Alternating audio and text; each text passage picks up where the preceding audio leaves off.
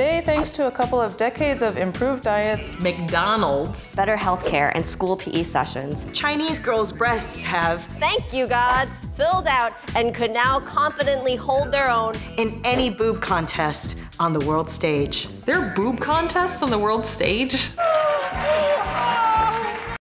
Thanks for watching. You want to see some more funny women or watch another WhoHaha video? You just click here and you can subscribe here. It's right here. It's right, it's literally right there. You just, I'm pointing at it. So just do it.